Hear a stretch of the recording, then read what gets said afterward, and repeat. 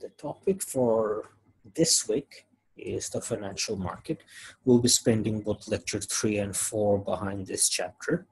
Uh, so a very brief review. What we did in the last lecture was we took a look at the goods market and what we saw was obviously that there was a demand for goods that were produced in the economy. We denoted that as Z.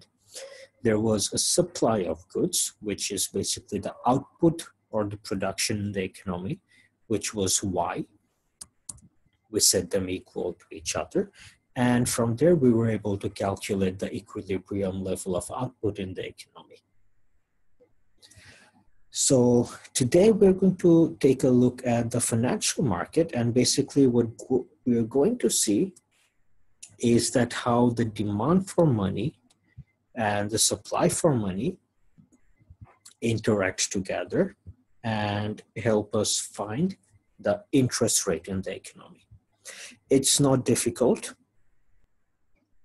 So let's get started. Let's start with demand for money.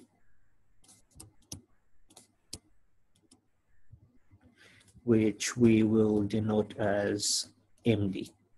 Okay. So before we start, we have to make an assumption, a simplifying assumption. And that assumption is that there are only two financial asset uh, available. So what do I mean by that? Uh, what I mean is that we only have money and bonds in the economy. So you can either hold how much you have as money or you can hold it as bonds. So money is of two types. One is currency and the other is a checkable deposit. So let's talk about each of them. You all know what currency is. It's basically notes that we have a 100 taka note, a 500 taka note. That's currency. So you can either hold your money as currency or you can hold it as a checkable deposit. So these are the current accounts that you can open with banks you can withdraw this money through your ATMs or uh, your debit cards, or you can write checks against it. So basically, money that's very easy to take out. And you all know that there are other schemes in a bank. For example, if you have, if you put your money in the bank under a fixed deposit scheme, you can't take that money out very easily. There are multiple steps that you need to fulfill. But getting money out of a checkable account, a current account, it's easy. And obviously, money doesn't pay any interest. Now, bonds pay an interest.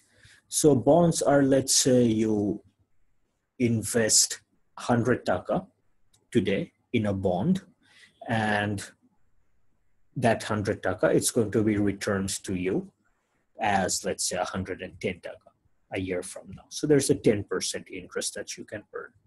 So these are the only two way in which you can hold your money in the economy, either as money or as bonds. And so the question is, which will you prefer? Will you hold more money or will you hold more bonds? And that depends on two factors. So one is your, uh, your number of transactions.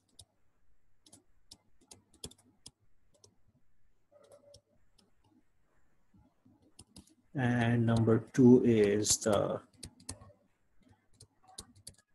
interest rate on bonds. Okay. Let me explain this too. Let's start with number two, interest rate on bonds. Now, obviously, it would seem like you want to hold more bonds because bonds are paying you interest rates.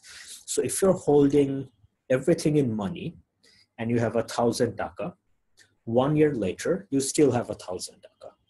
However, if you're holding this thousand taka as a bond and this bond is paying you 5% interest, then at the end of the year, you have a 1,050 taka. So you've earned something. So based simply on this, you will obviously want to hold everything in bond and nothing in money. But we still hold money. Why do we hold money? Because it's convenient. When you, let's say you go to a store and have um, a cup of coffee, you can't pay for that coffee with bonds. You need money. Uh, so convenience is a big factor. Second of all, there is something called a transaction cost. Now, if you are holding bonds and you want to convert this bond into money to pay for something, first of all, it's time consuming. You can't do it immediately. And second of all, um, how will you convert your bond into money? You will have to sell this bond to someone. So you will probably call your broker, ask him to sell the bond, and send you the money. And the broker is going to charge you for the service that he is providing for you. So the reason we want to hold bonds is that it pays an interest, whereas money pays us no interest. But the reason we want to hold money is because it's convenient. And second of all, it doesn't cost us anything.